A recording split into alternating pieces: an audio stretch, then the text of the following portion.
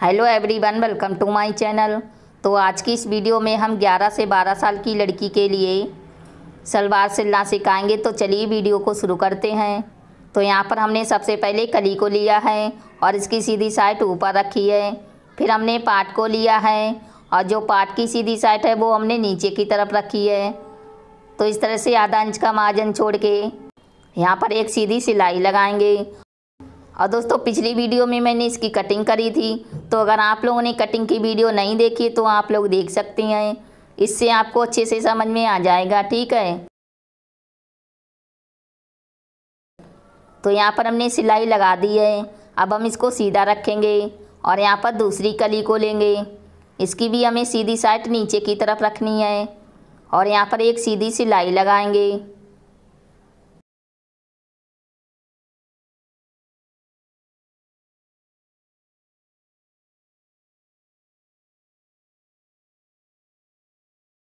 तो यहाँ पर हमने एक पार्ट में दो कली को सिल लिया है। अब हम यहाँ पर आसन से लेंगे और सेम इसी तरीके से हमने दूसरा पल्ला तैयार करा है। इसमें भी हमने एक पार्ट में दो कली सिली हैं तो इसकी सीधी साठ नीचे की तरफ़ रखेंगे और यहाँ पर आधा इंच का मार्जिन छोड़ के आसन से लेंगे।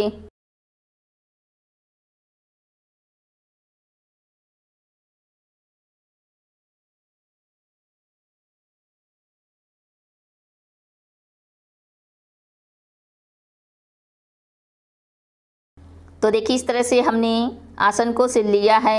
इसमें हमें पीछे की तरफ़ दो प्लेटें सिल लेनी हैं।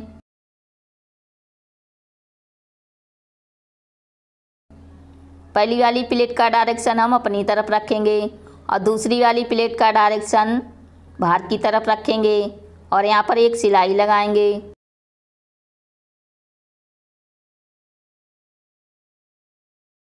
तो यहाँ पर हमने दो प्लेटें सिल ली हैं इस तरह से। अब हम यहाँ पर दूसरा भी आसन सिल लेते हैं।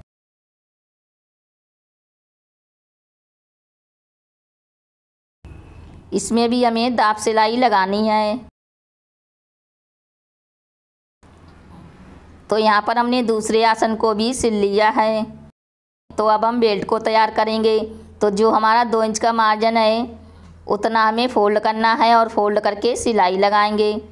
तो देखिए, इस तरह से हमने बेल्ट को भी सिल लिया है। देखिए, ये वाला हिस्सा हमारा आगे की तरफ़ रहेगा और ये दूसरा वाला हिस्सा हमारा पीछे की तरफ़ रहेगा तो अब हम क्या करेंगे, यहाँ पर आठ इंच पर जो कट लगा है तो यहाँ से हम क्या करेंगे, प्लेटें भरेंगे आगे की तरफ़। तो अब हम यहाँ पर पीछे जो हमने कट लगाया है, पीछे वाले आसन के लिए तो यहाँ से इसको इस तरह से मिलाएँगे। इस वाले कट से दूसरे कट तक हमें पीछे की तरफ़ एक भी पलेटें नहीं डालनी है, ठीक है?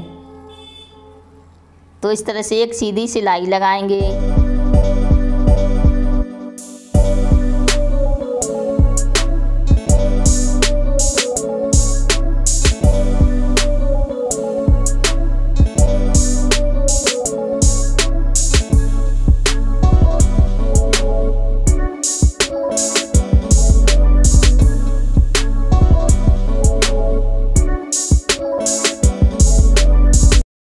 यहाँ पर हमारा दूसरा कट आ चुका है। अब हम यहाँ पर सिलाई को निकाल देंगे। और यहाँ से प्लेटें डालना शुरू करेंगे। तो सबसे पहले हम प्लेट का डायरेक्शन बाहर की तरफ़ रखेंगे। तो इस तरह से हमें प्लेटों को सिल लेना है, ठीक है?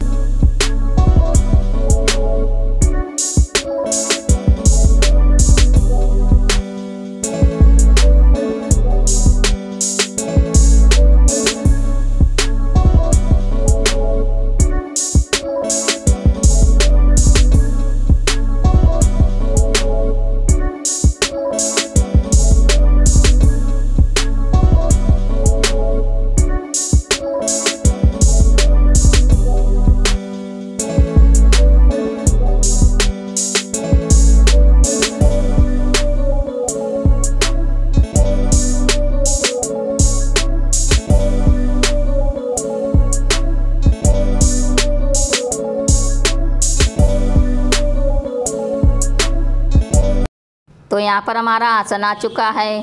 तो अब हम क्या करेंगे? प्लेट का डायरेक्शन चेंज कर देंगे। अब हम यहाँ पर प्लेट का डायरेक्शन अपनी तरफ़ रखेंगे।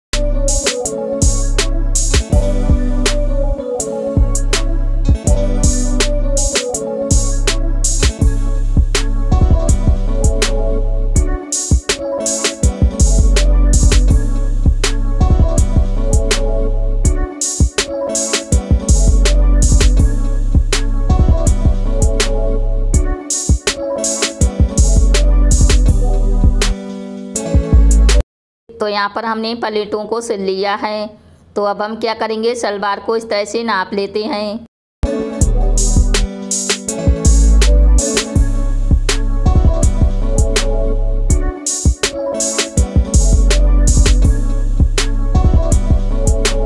तो देखिए हमारी जो बेल्ट और जो सलवार का घेर है, वो एक बराबर बैठ रहा है। तो अब हम यहाँ पर पूरी गुलाई में सिलाई लगा लेते हैं।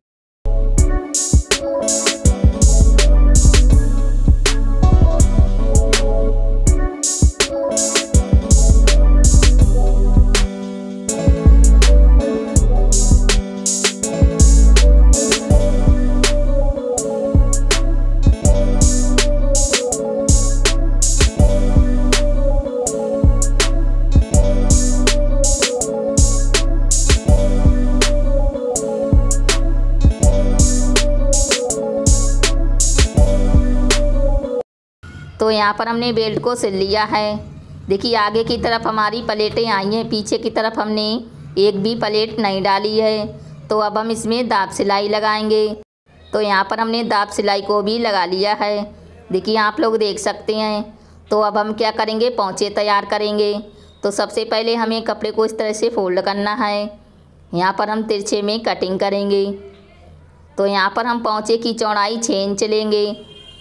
और एक इंच का हमें मार्जिन लेना है। तो यहाँ पर हम तिरछे में सात इंच पर कटिंग करेंगे। और यहाँ पर हमने बुकरम की पट्टी ली है। इसकी चौड़ाई हमारी डेढ़ इंच है। तो अब हम इसको कपड़े पर इस तरह से सिल लेते हैं।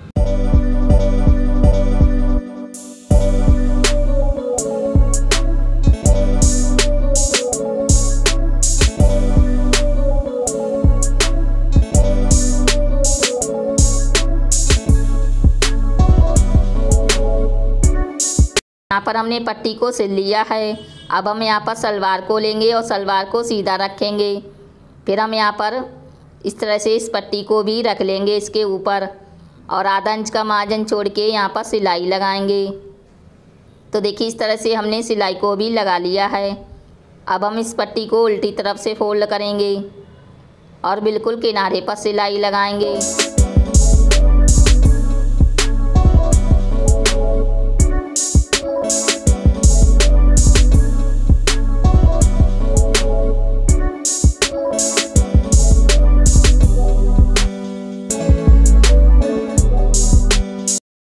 तो यहाँ पर हमने सिलाई को लगा लिया है। इसमें हमें डिज़ाइन बना लेनी है। तो देखिए, इस तरह से हमने डिज़ाइन को भी बना लिया है। और सेम इसी तरीके से हमने दूसरा पोंचा तैयार करा है। अब हम इसको बराबर रखेंगे। और यहाँ पर हम पोंचे की चौड़ाई छः इंच रखेंगे। तो छः इंच पर हमें सिलाई लगानी है। एक पोंचे से दूसरे पोंचे तक हमें सिलाई को लगा लेना है, ठीक है?